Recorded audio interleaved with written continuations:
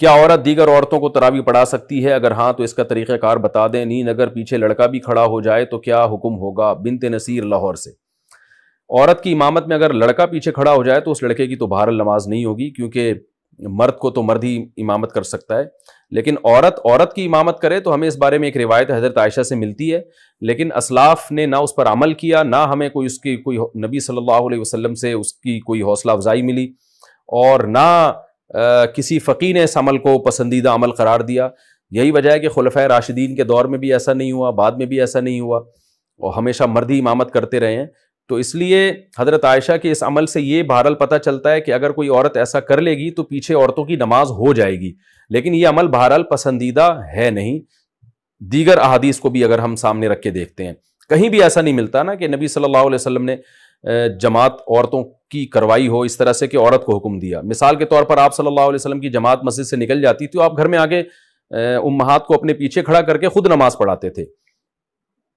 और ये भी नहीं है कि आप सल्लल्लाहु अलैहि वसल्लम ने खवतिन को जब हुक्म दिया ना कि तुम्हारी घर की नमाज़ मस्जिद से बेहतर है तो घर में आपने उनको इनफरादी नमाज़ का हुक्म दिया है।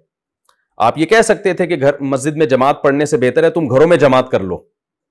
अगर इसकी इजाज़त होती ना जैसे कि आजकल बहुत से स्कॉलर्स फतवा दे रहे हैं कि औरत औरत को नमाज़ पढ़ा सकती है। अगर ऐसा होता तो कितने, यानी औरतों को फिर घर में इनफरादी नमाज़ का हुक्म थोड़ी होता, बल्कि औरतों को हुक्म दिया जाता कि घर में अपनी जमात करा लें वो, लेकिन हमें कहीं भी नहीं मिलता।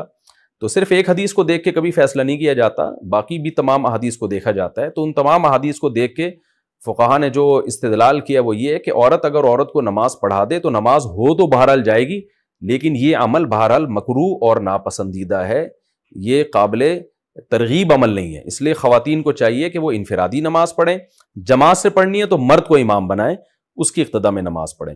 और अगर बिलफर्ज औरत औरत को नमाज़ पढ़ाती है मकरू होने के बावजूद वो कहती नहीं, शौक है उसको पढ़ाने का तो फिर खातन इमाम जो है ना, वो इमाम वो सफ़ के बीच में खड़ी होंगी, वो आगे नहीं खड़ी होंगी।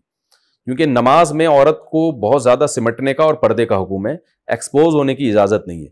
तो उसमें फिर ये है कि वो खातन जैसे हज़रत आयशा के बारे में यही है ना कि खातन के बीच में हो, बीच में थी वो। तो फिर आगे जाने के बजाय जहाँ सफ़ है उसी के बीच में वो औरत खड़ी होकर नमाज़ पढ़ाएगी।